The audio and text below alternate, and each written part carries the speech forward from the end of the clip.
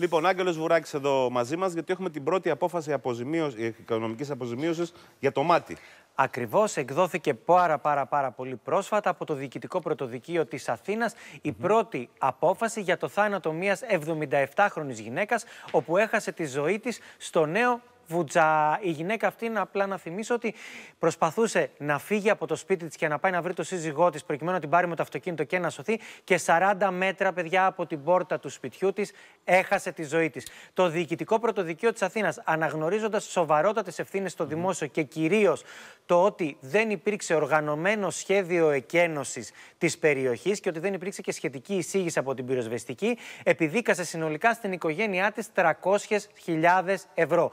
80.000 ευρώ στον σύζυγο και σε κάθε παιδί, 40.000 ευρώ στην αδερφή της και 20.000 ευρώ στην ύφη της, στη σύζυγο του παιδιού της. Άρα συνολικά 300.000 Συνολικά 300.000 ευρώ. Είναι η πρώτη απόφαση. Πρέπει να σας πω ότι εδώ έχουμε δυστυχώς 103 νεκρούς και εκατοντάδες αγωγές οι οποίες mm εκκρεμούν στα διοικητικά δικαστήρια.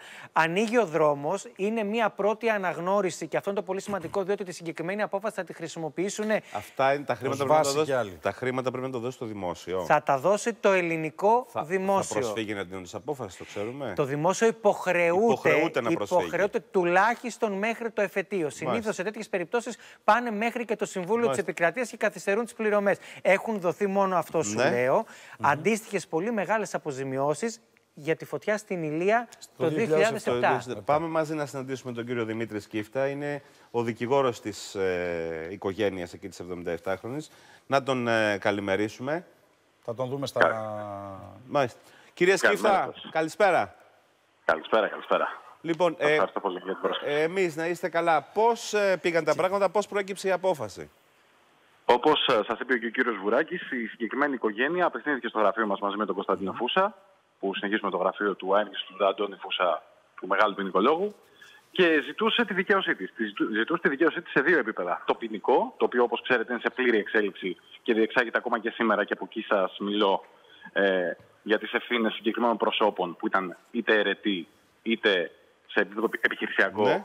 πυροσβέστης, πυροσβέστης αξιωματική και ζήτησαν και την χρηματική ικανοποίησή τους λόγω της ψυχικής οδύνης που υπέστησαν. Και γι' αυτό ακριβώς το λόγο γύραμε τη σχετική αγωγή στο Διοικητικό Πρωτοδικείο της Αθήνας. Τα ποσά που ζητούσατε. Το, το, ποσό που, το, το ποσό που ζητούσατε αρχικά ποιο ήταν; Το ποσό που ζητούσαμε δεν ήταν υπερβολικό, ήταν λίγο μεγαλύτερο από αυτό το οποίο επιδικάστηκε, αλλά πάντα με βάση την ε, νομολογιακή τάση που υπάρχει. Είστε ικανοποιημένοι, η οικογένεια είναι ικανοποιημένη από την απόφαση; Επιφυλασσόμαστε, επιφυλασσόμαστε να την αναγνώσουμε καλύτερα για να δούμε αν θα την προσβάλλουμε κι εμείς και όσον αφορά τα σκέλη της αιτιολογίας και όσον αφορά το ποσό. Ανοίγει ο δρόμος και για παρόμοιες τέτοιες υποθέσεις, κύριε Σκύφτα, γιατί μας είπε και ο Άγγελος Βουράκης ότι υπάρχουν εκατοντάδες αγωγές οι συγγενείς των θυμάτων νομιμοποιούνται να γίνουν σχετικές αγωγές και έχουν, εξ όσων γνωρίζω, οι περισσότεροι απευθυνθεί στα διοικητικά δικαστήρια. Η συγκεκριμένη απόφαση είναι η πρώτη. Αφορά πραγματικό περιστατικό που έχει να κάνει με θύμα το οποίο έχασε τη ζωή του στην περιοχή του Βουτζά, που σημαίνει ότι υπάρχει ήδη μία κρίση, την οποία θα αξιοποιήσουν και τα υπόλοιπα δικαστήρια, όσον αφορά την ευθύνη του πυροσβεστικού ναι. σώματος για την μη έγκαιρη προειδοποίηση, όπως είπε και ο κ. Βουράκης, που είναι και συνάδελφος, ε, των κατοίκων για να κάνουν το απλό, να γενώσουν την περιοχή. Άγγελε, έχεις κάποιο ερώτημα να κάνεις; Όχι, θέλω να σας πω ότι τη συγκεκριμένη απόφαση θα την χρησιμοποιήσουν και σαν οδηγό και πολλοί συνάδελφοί σας από εδώ και πέρα για τα δικαστήρια τα οποία έρχονται. Πιθανολογώ, κύριε Βουράκη, ότι θα αξιοποιηθεί και βεβαίως από όλους τους συναδέλφους. Γιατί είναι αιτιολογημένη απόφαση, ορθώς όσον αφορά αυτό το σκέλος και είναι μια πρώτη δικαίωση των ανθρώπων. Γεια σας, κύριε Σκύφτα. καλά, κύριε Σκύφτα. Σας ευχαριστούμε. Άγγελε, ευχαριστούμε και εσένα.